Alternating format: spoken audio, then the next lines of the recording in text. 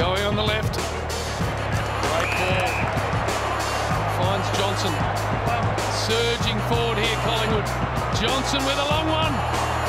Johnson! Bang!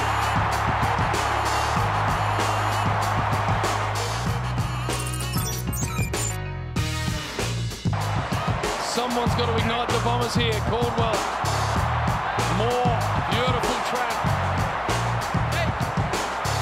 Crisp in the middle of the G. McCreery. Mihocek couldn't get to it.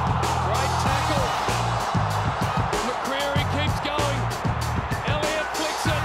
Daicos has got another one. The Bombers now trail. Can you believe that? has to do all of that, Joe. Darcy Moore's there. Out the back, they get a little opportunity.